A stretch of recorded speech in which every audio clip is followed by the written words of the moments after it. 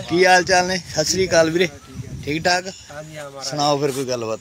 ਕਿਹੜੀ ਗੱਲ ਸੁਣਾਈਏ ਤੁਹਾਨੂੰ? ਜੋ ਵੀ ਸੁਣਾਉਣੇ ਆ ਦੁਨੀਆਦਾਰੀ ਦੀ ਜੋ ਵੀ ਕਹਿੰਦੇ ਦੇ ਸੁਣਾਓ। ਦੱਸ ਵੀ ਬਾਬੇ ਕਿਹੜੀ ਸੁਣਾਈਏ? ਆਹ ਜਿਵੇਂ ਹਾਲ ਚਾਲ ਆਪਾਂ ਫਿਰਦੇ ਆਂ ਬਸ ਉਹੀ ਸੁਣਾ।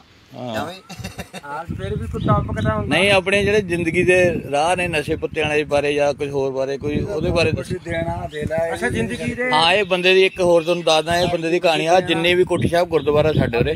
ਜਿੰਨੇ ਵੀ ਫੁੱਲਵਾੜੀ ਲੱਗੀ ਵੀ ਆ, ਉਹ ਰਾਹ ਤੋਂ ਲੈ ਕੇ ਜਿੰਨੀ ਵੀ ਲੱਗੀ ਵੀ ਆ, ਇਹਦੀ ਬਹੁਤ ਵੱਡੀ ਸੇਵਾ ਹੈ ਗੱਲ ਦੀ।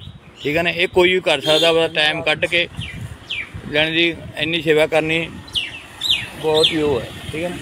ਆ ਜਿੰਨੇ ਵੀ ਫੁੱਲਵਾੜੀ ਰਾਹ ਤੇ ਲਾਈ ਵੀ ਹੈ ਦੇਖੋ ਕਿੰਨਾ ਸੁੰਦਰ, ਵਧੀਆ ਬਣਾਇਆ ਹੋਇਆ ਦ੍ਰਿਸ਼ ਇਹ ਸਾਰਾ ਇਸ ਬੰਦੇ ਦੀ ਦੇਣ ਆ। ਇੱਥੇ ਸਾਡੇ ਗੁਰੂ ਘਰ ਹੈ ਕੋਠੀ ਸਾਹਿਬ ਗੁਰਦੁਆਰਾ ਹੈਗਾ ਤੇ ਇਹਦੀ ਸੇਵਾ ਵਿੱਚ 24 ਘੰਟੇ ਜੁੜਿਆ ਰਹਿੰਦਾ ਬੰਦਾ ਹੈ ਨਸ਼ਿਆਂ ਦਾ ਬਈ ਟੌਪਿਕ ਇਹ ਆ। ਤੇ ਜਿਹੜੀ ਇਹ ਪਲੇਗ ਦੀ ਬਿਮਾਰੀ ਸੀ ਨਾ, ਇਹ 1900 ਤੋਂ ਲੈ ਕੇ 1905 ਤੱਕ ਰਹੀ ਸੀ। ਫਿਰ ਉਦੋਂ ਹੀ ਮਹਾਰਾਜ ਜਿਹੜੇ ਅਵਤਾਰ ਹੋਏ ਸੀ, ਜਿਵੇਂ ਸੰਤ ਬਾ- ਬਾਬਾ ਅਤਰ ਸਿੰਘ ਮਸਤੂਆਣਾ ਸਾਹਿਬ ਵਾਲੇ, ਸੰਤ ਬਾਬਾ ਈਸ਼ਰ ਸਿੰਘ ਜੀ ਰਾਣਾ ਸਾਹਿਬ ਵਾਲੇ, ਸੰਤ ਬਾਬਾ ਈਸ਼ਰ ਸਿੰਘ ਜੀ ਨਾਨਕ ਸਰ ਕਲੀਰਾਂ ਵਾਲੇ, ਜਿੰਨੇ ਵੀ ਮਹਾਂਪੁਰਸ਼ ਬ੍ਰਹਮ ਗਿਆਨੀ ਸੀ, ਉਹ ਸਮੇਂ ਦੇ ਵਿੱਚ ਉਹਨਾਂ ਦੇ ਜਿਹੜੇ ਜਨਮ ਨੇ ਉਹ ਚੈੱਕ ਕਰਕੇ ਦੇਖ ਲਿਓ। ਅੱਧੇ ਤਾਂ ਸੱਚਖੰਡ ਚਲੇ ਗਏ ਅਤੇ ਹੈਗੇ ਨੇ। ਤੇ ਉਹਨਾਂ ਦੇ ਜਨਮ ਹੋਇਆ ਸੀ 1900 ਤੋਂ ਲੈ ਕੇ 1905 ਤੱਕ। ਜਿਹੜੀ ਪਲੇਗ ਦੀ ਬਿਮਾਰੀ ਸੀ 1900 ਤੋਂ ਲੈ ਕੇ 1905 ਤੱਕ ਹੀ ਰਹੀ ਸੀ ਗੋਰੇ। ਮੇਰੀ ਮਾਤਾ ਦੱਸਦੀ ਹੁੰਦੀ ਸੀ ਕਹਿੰਦੀ ਵੀ ਆ ਕੁੱਲੀਆਂ ਪਾਉਣ ਲੱਗਦੀ ਆਪਣੇ ਘਰ ਛੱਡ ਕੇ ਲੋਕ ਉਹਨੂੰ ਇਨਫੈਕਸ਼ਨ ਹੀ ਨਹੀਂ ਹੁੰਦੀ ਸੀ ਤੇ ਕਰੋਨਾ ਹੀ ਸੀ ਝੂਠ ਰੱਖੀ ਤੇ ਵਿਕਾਸ ਦੀ। ਜਿਹੜਾ ਜਿਹੜਾ ਪੰਜਾਬ ਆ ਨਾ ਮੈਨੂੰ ਜ਼ਿੰਦਗੀ ਦੇ ਵਿੱਚ ਮੇਰੀ ਉਮਰ ਕਿੰਨੀ ਹੋ ਗਈ? 40 ਸਾਲ ਲਾ ਲਾ ਮੈਨੂੰ ਇੱਕ ਵਾਰ ਚੌਂਦੀ ਲੱਗੀ ਆ। ਚੌਂਦੀ ਦੇ ਵਿੱਚ ਐ ਹੁੰਦਾ ਵੀ ਬੰਦੇ ਨੇ ਜਾਣਾ ਤਾਂ ਇੱਧਰ ਨੂੰ ਹੁੰਦਾ ਫਿਰ ਇੱਧਰ ਨੂੰ ਤੁਰ ਪੈਂਦਾ। ਜਿਹੜਾ ਪੰਜਾਬ ਆ 75% ਚੌਂਦੀ ਚ ਫਿਰਦਾ। ਕਿਹੜੇ ਘਰ ਚ ਨਸ਼ਾ ਨਹੀਂ ਹੈਗਾ? ਹਰ ਇੱਕ ਬੰਦਾ ਉਹ ਨਸ਼ਾ ਕਰਦਾ ਜਿਹਦੇ ਨਾਲ ਦਿਮਾਗ ਸੌਂਦਾ ਸੰਤੈਕਟ ਨਸ਼ੇ ਕਰਦਾ ਜੀ ਹਾਂ। ਹੁਣ ਤੁਸੀਂ ਨਸ਼ਿਆਂ ਦੀ ਗੱਲ ਸੁਣ ਲਓ। ਭਗਵੰਤ ਮਾਨ ਜੀ ਨੂੰ ਵੀ ਮੇਰੀ ਬੇਨਤੀ ਆ ਵੀ ਤੁਸੀਂ ਗੱਲ ਸੁਣੋ। ਵੀ ਇੱਕ ਫਿਲਾਸਫਰ ਕਹਿੰਦਾ ਵੀ ਮੈਨੂੰ ਜਿ- ਜਿਹੜੀ ਇੱਥੇ ਦੀ ਦੁਨੀਆਦਾਰੀ ਹੈ ਵੀ ਜੇ ਤੁਸੀਂ ਮੈਨੂੰ ਗਾਣੇ ਸੁਣਾ ਦਿਓ ਵੀ ਮੈਂ ਤੁਹਾਨੂੰ ਦੱਸ ਦੂੰ ਵੀ ਇਹਨਾਂ ਨੇ ਆਉਣ ਵਾਲੇ ਸਮੇਂ 'ਚ ਕੀ ਕਰਨਾ। 251 ਹੁੰਦੇ ਸੀ ਸੈਂਟਰ ਜਿਹੜੀ ਹੁੰਦੀ ਆ ਇੱਧਰ ਸੁਣੀ ਹੁਣ ਝਾਕ। ਕਰੀ। ਜੀਭ ਤੇ ਰੱਖਣ ਵਾਲੀ ਗੋਲੀ। 251 ਸੈਂਟਰ ਪੰਜਾਬ 'ਚ। ਹੁਣ ਅ, 591 ਹੋ ਗਏ। ਜਿਹੜੀ ਜੀਭ ਵਾਲੀ ਗੋਲੀ ਆ ਮਿੱਤਰੋ ਇਹ ਜਿਹੜਾ ਖਾਣ ਲੱਗ ਗਿਆ ਉਹ ਉਹ ਹਮੇਸ਼ਾ ਲਈ ਮਾਨਸਿਕ ਰੋਗੀ ਆ। ਜਿਹੜਾ ਇਹ ਖਾਣ ਲੱਗ ਗਿਆ ਜਿਵੇਂ ਕਈ ਚੀਜ਼ਾਂ ਦੇ ਵਿੱਚ ਇੱਕ ਸਬਜ਼ੀ ਹੁੰਦੀ ਉਹਦੇ ਵਿੱਚ ਕੁਝ ਵੀ ਨਹੀਂ ਪੈਂਦਾ ਹੁੰਦਾ।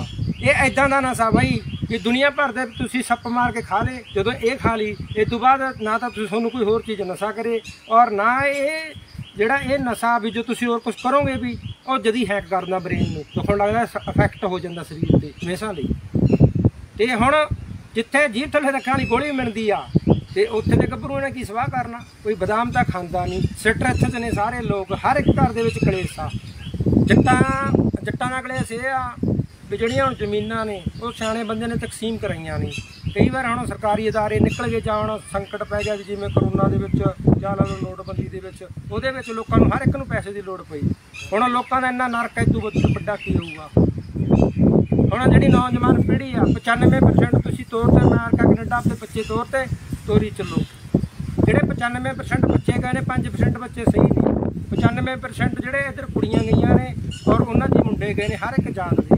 ਉਹ ਜਿਹੜੇ ਮੁੰਡੇ ਵੀਰੇ ਜੱਗੂ ਹੋਰ ਕੋਠੀ ਸਾਹਿਬ ਗੁਰਦੁਆਰੇ ਸੇਵਾ ਕਰਕੇ ਕੀ ਆਨੰਦ ਮਿਲਦਾ? ਵੀਰੇ ਆਨੰਦ ਹੀ ਆਨੰਦ ਆ। ਦੇਖੋ ਪਹਿਲੀ ਗੱਲ ਤਾਂ ਯਾਰ ਸਭ ਤੋਂ ਪਹਿਲਾਂ ਨਾ ਆਪਣੇ ਆਪ ਨੂੰ ਸਮਝਣਾ। ਜੇ ਤੁਸੀਂ ਨਾ ਸਮਝੇ ਤੁਹਾਨੂੰ ਇੱਕ ਦੇਖੋ ਮੈਂ ਜਾ ਕੇ ਨਾ ਸੇਵਾ ਕਰਾਂ। ਰਾੜਾ ਸਾਹਿਬ ਦੇ ਗ੍ਰੰਥੀ ਨੇ ਉਹ ਬ੍ਰਹਮ ਗਿਆਨੀ ਨੇ। ਮੈਂ ਕਿਹਾ ਮੈਂ ਮਹਾਰਾਜ ਰੋਣ ਲੱਗ ਗਿਆ ਮੈਂ ਜਾ ਕੇ ਮੈਂ ਭਾਵ ਕਿਤਾਬ ਦਿਖਾਈ। ਮੈਂ ਕਿਹਾ ਜੀ ਮੈਨੂੰ ਤਾਂ ਵੀ ਬੋਲੀ ਜਾਂਦੇ ਨੇ ਬਹੁਤ। ਉਹ ਕਹਿੰਦੇ ਦੱਸੋ ਜਿਹੜਾ ਆਪਾਂ ਇਹ ਆਪਾਂ ਦੁਨੀਆਦਾਰੀ ਦੇ ਸੰਸਾਰ ਦਾ ਹਿੱਸਾ। ਜਿਵੇਂ ਵੀ ਇੱਕ ਬਾਗ ਦਾ ਕਹਿੰਦੇ ਬੇਰੀ ਆ ਕਹਿੰਦੇ ਜੇ ਬੇਰੀ ਦੇ ਕੋਲੇ ਕੇਲਾ ਆ ਗਿਆ ਕਹਿੰਦੇ ਉਹਦੇ ਪੱਤੇ ਪੱਟਣੋਂ ਹਟਣਾ ਨਹੀਂ।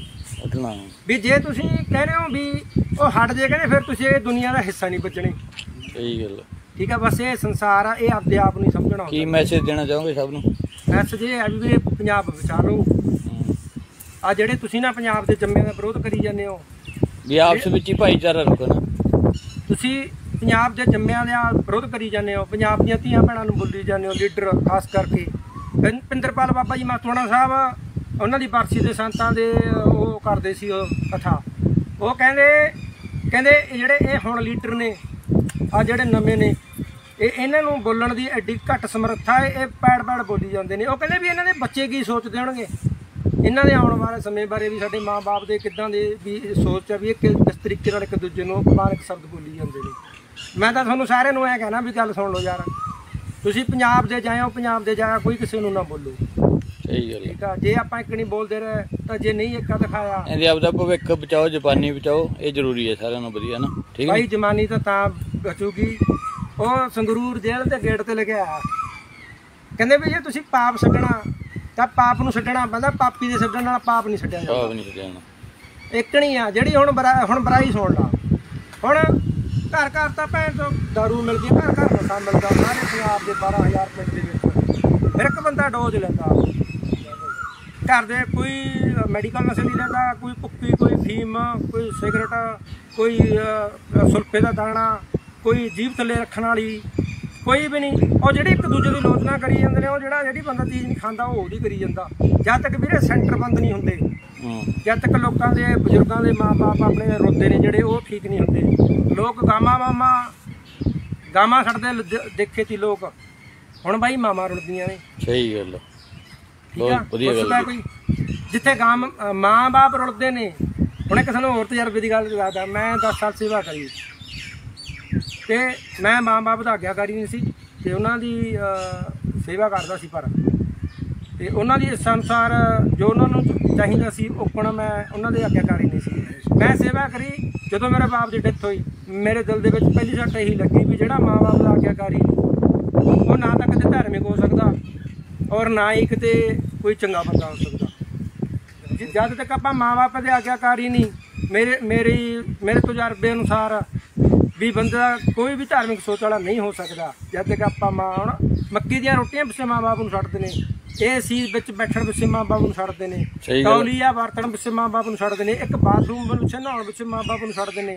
ਚੱਪਲਾਂ ਲਿਜਾਣ ਪਿੱਛੇ ਮਾਂ-ਬਾਪ ਨੂੰ ਛੱਡਦੇ ਨੇ। ਥਾਵੇਂ ਬੈਠਣ ਪਿੱਛੇ ਮਾਂ-ਬਾਪ ਨੂੰ ਛੱਡਦੇ ਨੇ।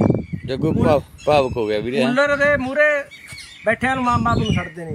ਚਲੋ ਕਹਿੰਦੇ ਨੇ ਜੀ ਤੁਸੀਂ ਪ੍ਰਚਾਰਕ ਬਣਦੇ ਹੋ ਤੁਹਾਡੇ ਮਾਂ-ਬਾਪ ਖੁਦ ਦੁਖੀ ਨੇ ਅਸੀਂ ਤਾਂ ਮੰਨਦੇ ਆ ਚਲੋ ਅਸੀਂ ਤਾਂ ਅਨੇਕਾਂ ਪ੍ਰਕਾਰ ਦੀਆਂ ਡੋਜ਼ਾਂ ਲੈਤੀਆਂ। ਜਿਹੜੇ ਸਿਆਣੇ ਨੇ ਉਹਨਾਂ ਦੇ ਗਾਉਣ ਉੜਦੇ ਨੇ।